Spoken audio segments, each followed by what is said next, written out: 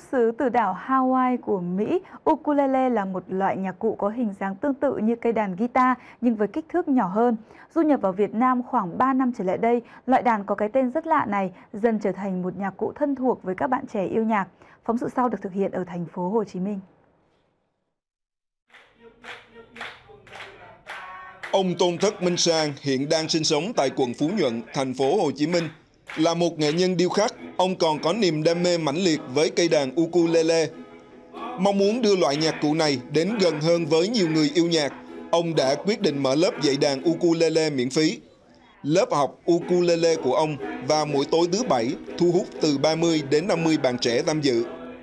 Ở đây khi mà tôi, tôi, tôi tìm hiểu nó thì tôi thấy ở ờ, cái này có thể phổ cập được cho các em mà các em học được lớn nhất ấy, ngoài cái âm nhạc ra các em học được cái sự chia sẻ do như vậy đó thì tôi mới thấy là à, cũng nên tập hợp một số em lại có tâm huyết.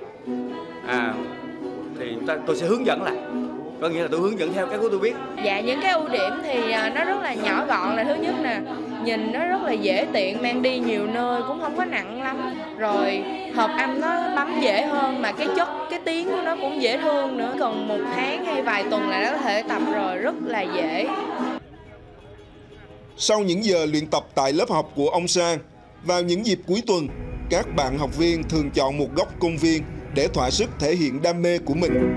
Tiếng đàn ukulele vui nhộn, những ca khúc được thể hiện hết sức trẻ trung đã thu hút sự chú ý của du khách.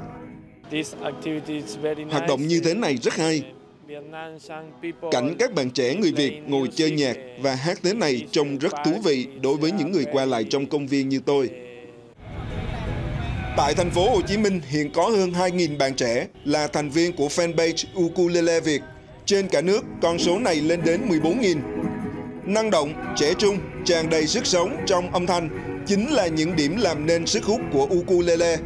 Dễ hiểu vì sao ukulele nhanh chóng được yêu thích và trở thành thú chơi mới cuốn hút giới trẻ Sài Thành.